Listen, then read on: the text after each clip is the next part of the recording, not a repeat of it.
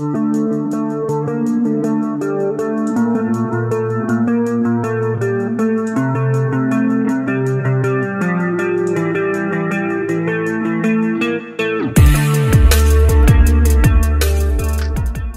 a tutti, benvenuti o bentornati sul mio canale. Io sono Ilaria e questo è un nuovo video True Crime. Se siete interessati a questo genere di video vi consiglio di iscrivervi e attivare la campanellina delle notifiche e se vi va potete anche seguirmi su Instagram o aiutarmi a far crescere il mio altro canale. Il link lo trovate qui sotto nella descrizione. Detto questo, iniziamo.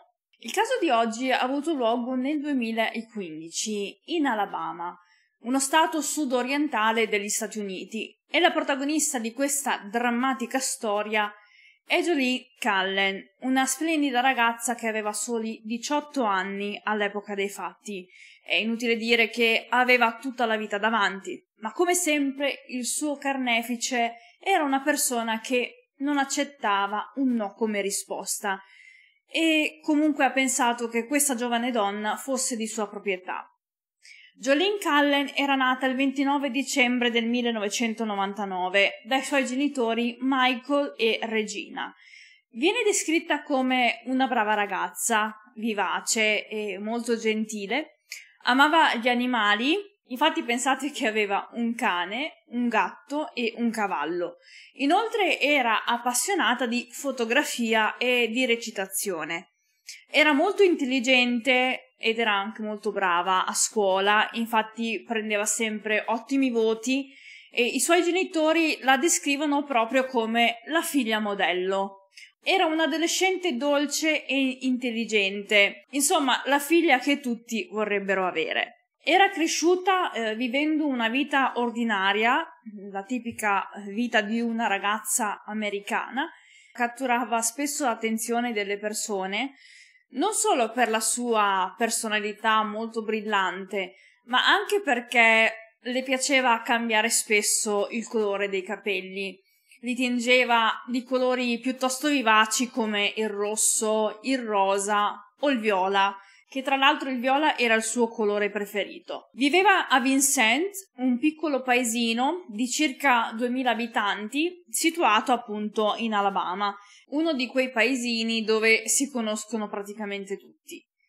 All'età di 17 anni, Jolie stava frequentando il college ed era piena di energie e di aspettative per il suo futuro. Proprio in quell'anno conobbe un ragazzo. Mm, questo ragazzo era più grande di lei, infatti avevano tre anni di differenza. Si tratta di Lorraine Banner, che aveva 20 anni. Chiedo scusa in anticipo perché sono quasi sicura che dirò Loren o Loren. Non riuscirò a pronunciarlo sempre nello stesso modo nel corso del video, quindi scusatemi.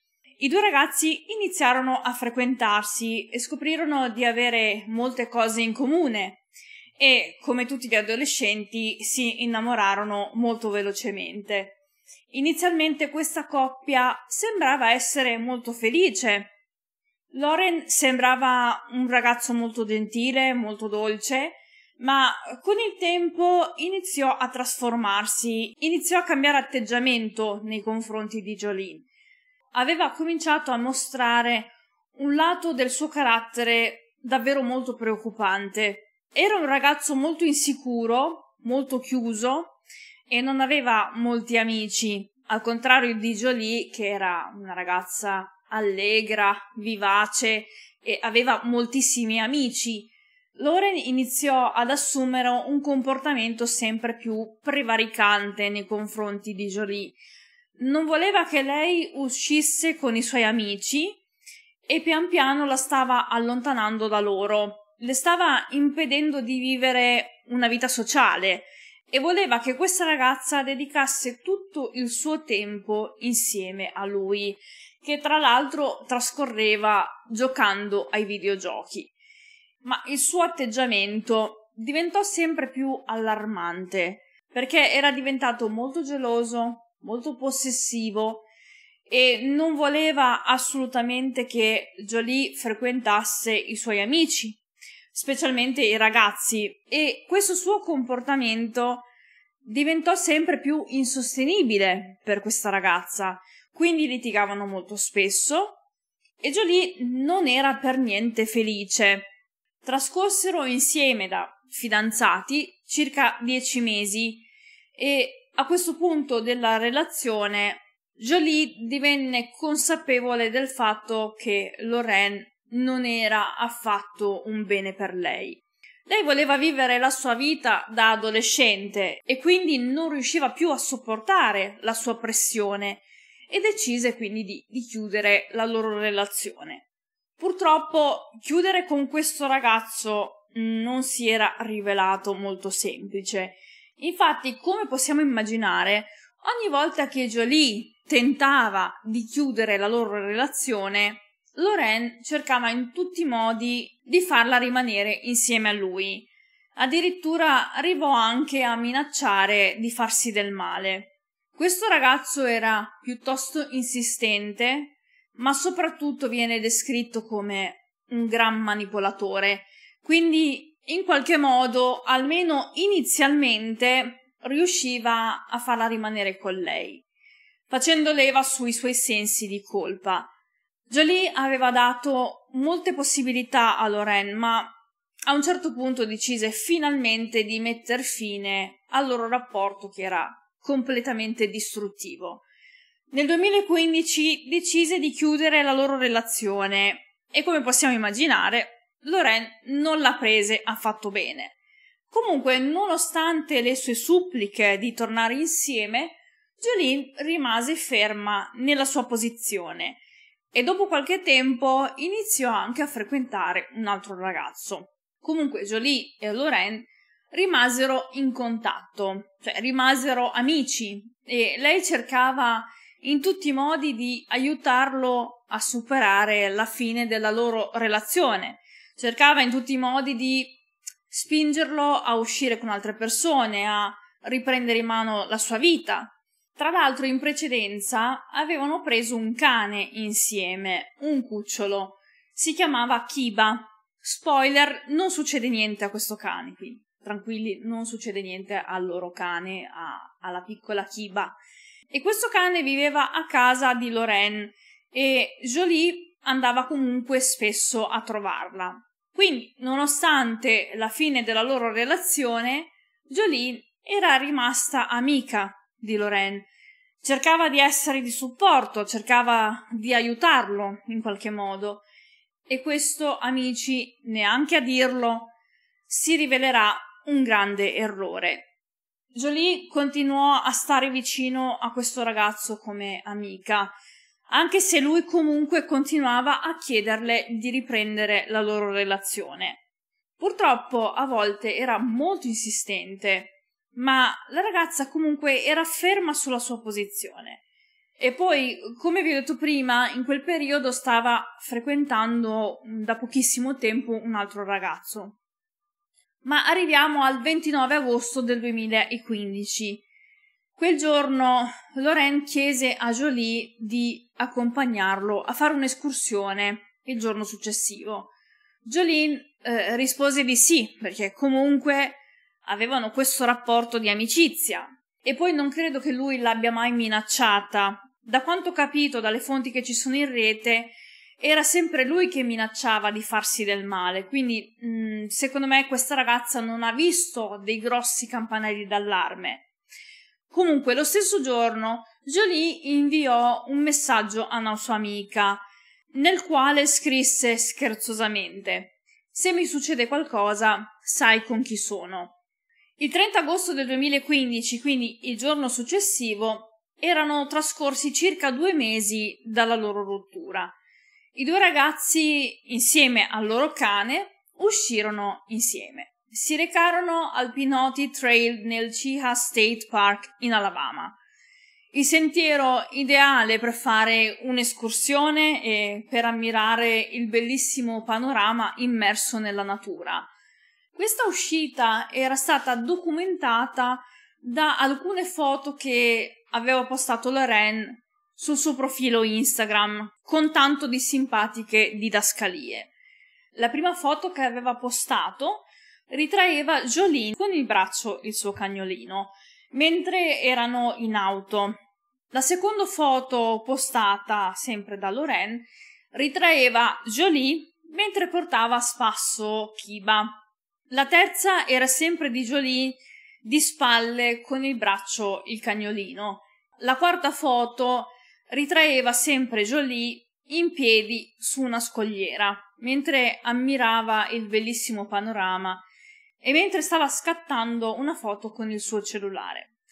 Ma purtroppo questa immagine sarà l'ultima foto di Jolie in vita. Infatti quel giorno Lorraine aveva in mente qualcosa di molto diverso da una semplice escursione. Il suo piano era di trascinarla con lui per ucciderla. Voleva uccidere Jolie. E quel piano purtroppo funzionò perfettamente. Mentre Jolie stava ammirando lo splendido panorama, Lorraine tirò fuori un'arma e le sparò due volte alle spalle. Il primo proiettile la colpì nella parte posteriore della testa. Ora vorrei fare una precisazione. In alcune fonti c'è scritto sul collo, in alcune fonti c'è scritto sulla testa, quindi non so darvi con esattezza questa informazione. Si sa comunque che una volta che Jolie era per terra, Lorraine girò il suo corpo e le sparò ancora una volta in mezzo agli occhi. Dopodiché gettò il suo corpo giù da una scogliera. Dopo aver ucciso senza pietà la persona che diceva di amare, e aggiungerei come un codardo visto che l'ha colpita alle spalle, Lorraine chiamò la polizia. Con un tono di voce piuttosto calmo, confessò di aver appena ucciso la sua ex ragazza. In quella chiamata disse di volersi costituire per l'omicidio di Jolie Cullen. Aspettò sul ciglio della strada l'arrivo della polizia e non ci volle molto tempo prima che la polizia trovasse il corpo senza vita di questa povera ragazza. Lorraine aveva alcune macchie del suo sangue ed era abbastanza chiaro cosa fosse successo, quindi venne accusato di omicidio. Ma, nonostante la sua telefonata alla polizia e la sua confessione, Lorraine si dichiarò non colpevole. Sentite la sua versione assurda. Nessuno crederebbe a questa versione. Comunque, affermò di aver sparato a Jolie come parte di un patto. Uh, non posso dire questa parola, comunque S-U-I-C-I-D-A, e che non era stato in grado di proseguire perché alla fine non aveva avuto il coraggio di togliersi la vita lui stesso. Amici, era chiaro che lei non si sarebbe mai aspettata una cosa del genere. Non avrebbe mai pensato che il ragazzo che diceva di amarla l'avrebbe uccisa così, a sangue freddo, poi alle spalle. Ma adesso arriva la parte più assurda di questo caso. Qualcosa che vi lascerà davvero senza parole. Durante la prima udienza in tribunale, avvenuta nel novembre 2015, Lorraine affermò ancora una volta che l'omicidio di Jolie non era altro che questo patto che lui e questa ragazza avevano stretto qualche tempo prima. Quindi entrambi i ragazzi dovevano morire. Ma la famiglia e gli amici di Jolie non credevano minimamente a questa versione. Jolie era una ragazza solare, si stava preparando per il futuro lavorativo e non sembrava assolutamente depressa. Era molto più probabile che Lorraine l'avesse uccisa a sangue freddo a seguito di un suo ennesimo tentativo di recuperare la loro relazione, quindi a seguito di un ennesimo rifiuto da parte di Jolie. Comunque la difesa sosteneva che Lorraine avesse la sindrome di Asperger e che in quel momento, cioè nel momento in cui aveva sparato e ucciso senza pietà questa ragazza, non era consapevole della gravità delle sue azioni e quindi avrebbe dovuto ottenere una specie di sconto. Dovete sapere che, secondo la legge dell'Alabama, qualsiasi imputato di età inferiore a 21 anni può richiedere lo status di giovane criminale. Ora, io l'ho tradotto letteralmente perché non sono riuscita a trovare una traduzione precisa, comunque questo status garantisce all'imputato di scontare non più di tre anni di carcere, indipendentemente dalla gravità del crimine che ha commesso. Questo perché è minorenne praticamente. Quindi venne applicata una cauzione piuttosto bassa, era di circa 15.000 dollari, eh, che Loren o chi per lui era riuscito a pagare. Insomma, alla fine questo ragazzo è uscito come un uomo libero. Michael Callan, cioè il padre di Jolie, a questo punto, deluso e devastato da questa notizia, non rimase fermo con le mani in mano, ma chiamò i telegiornali della zona e cercò in tutti i modi di mettere in luce questa tragica vicenda, a cui non era stata data giustizia. I familiari e gli amici di Jolie, con l'aiuto di una televisione locale, presentarono una petizione per ottenere giustizia. La storia di Jolie iniziò a rimbalzare da un notiziario all'altro e questo servì, quindi la tenacia di Michael insieme allo sdegno dell'opinione pubblica fecero in modo di ribaltare lo status di giovane criminale di Lorraine. Infatti, dopo due anni, poi comunque lui per due anni è riuscito ad andare in giro libero come, come se niente fosse. Comunque, dopo due anni, anche i pubblici ministeri chiesero a gran voce al giudice di riconsiderare quella decisione. Dopo due anni di libertà, Loren si dovette ripresentare in tribunale, ma a quel punto fece una dichiarazione che nessuno si sarebbe mai aspettato. Il 13 luglio 2017 Loren si dichiarò colpevole dell'omicidio di Jolie Callan. I suoi avvocati chiesero clemenza, sostenendo che ci fossero prove che suggerivano che questo ragazzo soffrisse di una malattia mentale, oltre che soffrire della sindrome di Asperger. Il giudice tuttavia non si fece influenzare. Alla fine dei conti tutte le prove indicavano che quell'omicidio fosse premeditato. Quel giorno Lorraine aveva convinto Jolie a trascorrere una giornata insieme a lui in amicizia. L'aveva convinta a fare un'escursione visitando un bellissimo panorama e si era portato con sé una pistola. Se non è premeditazione questa, Loren quindi è stato processato da adulto e condannato a 52 anni di carcere, ma avrà diritto alla libertà condizionale dopo 15 anni. Questa sentenza, secondo il mio modesto parere, è semplicemente una magra consolazione, ma almeno Jolie ha avuto un minimo di giustizia. Tra l'altro non è neanche così scontato che lui riesca a ottenere la libertà condizionale tra 15 anni o 10 anni, scusate. Anche perché, secondo alcune testate giornalistiche, pare che Loren si sia vantato di questo omicidio con i suoi compagni di cella e che abbia detto la classica frase l'ho uccisa io perché o mia o di nessun altro. Durante l'udienza che ha portato alla condanna di Loren, i familiari e gli amici di Jolie hanno indossato dei nastri e dei vestiti del suo colore preferito, appunto il viola. Lo hanno fatto soprattutto per onorare la memoria di questa splendida ragazza, che avrebbe potuto fare moltissime cose nella sua vita, ma purtroppo per l'ennesima volta qualcuno ha deciso per lei. Il padre di Jolie, Michael, si è detto comunque soddisfatto della sentenza, anche se ovviamente questa giustizia non riporterà di certo in vita sua figlia, ma almeno la famiglia si è assicurata che questo personaggio stia in carcere, il posto in cui a mio parere meriterebbe di stare per tutta la vita.